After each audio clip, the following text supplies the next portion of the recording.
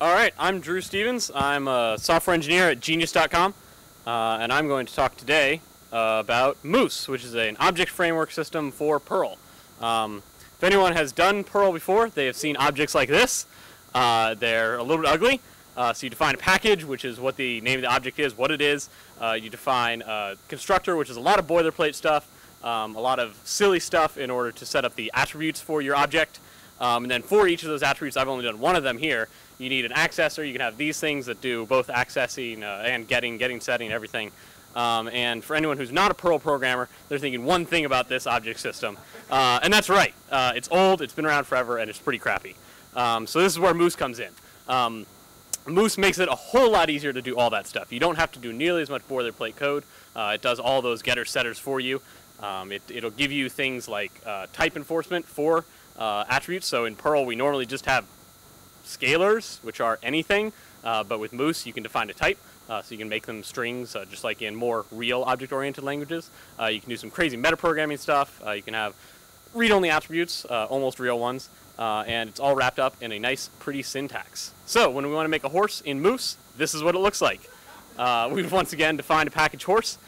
we say use Moose, which makes it a Moose class, and then we simply define the attributes. Um, so you can see it's of the same thing. All we have are the name of the horse, the number of legs that the horse has. Uh, you can change the name of our horse, and the horse's name is a string. You cannot change the number of legs it has. We don't do amputation in this world. Um, and you don't have to tell the number of legs because we have a default there. So when you want to make a horse, it's as simple as that. You give it a name. That's just like any other Perl object, but the person who wrote that object had a much more fun time. Uh, and then you can use it just like any other Perl object. Uh, and notice we didn't we didn't uh, have to have to code any of those getters. They're given to us for free by Moose. Uh, Moose does a whole lot of other things, nice, that once again make it make Perl work like a real object-oriented language. Uh, you can use abstract classes. Uh, so in this class, we have we've uh, uh, taken out the stuff from the horse, put it into a generic type animal. an animal has a name, it has a number of legs, and an animal makes a sound, or has to have a sound method that is something that the sound makes when you say speak. And then we've done the speak method here in the abstract class.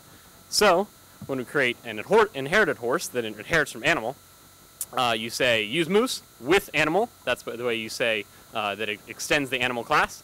We simply define the sound method that we had required previously, and then when we do ed speak, when we create Mr. Ed and do ed speak, uh, it says Mr. Ed goes nay.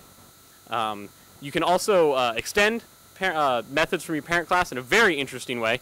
Um, uh, so we we have a mouse here, and uh, mouse is not very loud, so we want a stage direction that says, but you can barely hear the mouse when it goes squeak. So we tell it that it squeaks, and then we say, after the speak method is called, you should run this method that we defined right here, this little subroutine. Uh, so when you create a mouse there at the bottom, um, and you say uh, mouse arrow speak, you get a mouse go squeak, but you can barely hear it. Uh, the final thing that, that I found interesting in Moose is that you can do type coercion. Uh, so if we uh, want to add a birth date to our animals, uh, we can simply define a type here, a historical date time, because you can't be born in the future. Well, you can, but, well, we don't know. Um, and then you can add the born attribute uh, to an animal by simply saying has born. Um, we make it read only. You can't change your birth date uh, unless you're a CIA agent or something. Uh, and you make that historical date time. you tell it to use the coercion, and it, and it uses the via that's listed above. And so it uses the existing module date, date manip uh, and the parse date time from that so that when we want to create many uh, animals, uh, we can create a horse named Newbie.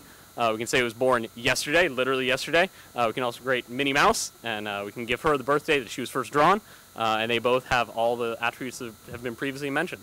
so if you want to know more about Moose, here are a whole bunch of references. that catalyze.org uh, blog post is a really good one. It gets you started with Moose, just like I've shown here. Uh, and if you're going to be doing Perl, definitely do it in Moose, because otherwise you end up with a broken leg.